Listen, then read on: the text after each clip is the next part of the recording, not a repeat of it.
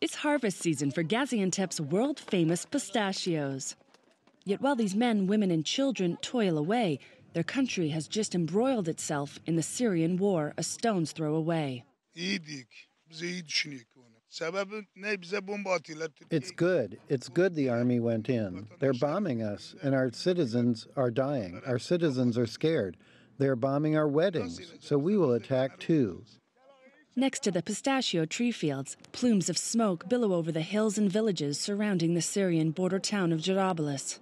On Wednesday evening, a Turkish backed operation with tanks, warplanes, and special operation forces helped the Free Syrian Army liberate the town from the grip of ISIL militants who had occupied it since 2013.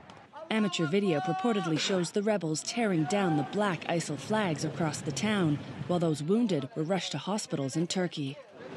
Throughout the day, we've been hearing and seeing controlled explosions as the Turkish army, as well as the Free Syrian Army forces, clear the area of any unexploded ordnance left behind by ISIL militants as they fled. It is expected that Turkish tanks will stay in the Jarablus area for some time to prevent any return of ISIL militants or a possible advance by Syrian Kurdish forces. Turkey's first major military operation into Syria, dubbed Operation Euphrates Shield, is aimed at securing its border from ISIL and pushing back the YPG, a Syrian Kurdish militia Ankara accuses of links to its own Kurdish separatists. Türkiye güney sınırlarında Turkey will not tolerate any Kurdish entity at its border. We consider this a great threat to our national security. The YPG recently liberated the Syrian town of Manbij from ISIL, yet Turkey wants them to retreat east of the Euphrates River. According to Turkish state media, Turkish cannons fired on YPG forces moving north from Manbij on Thursday.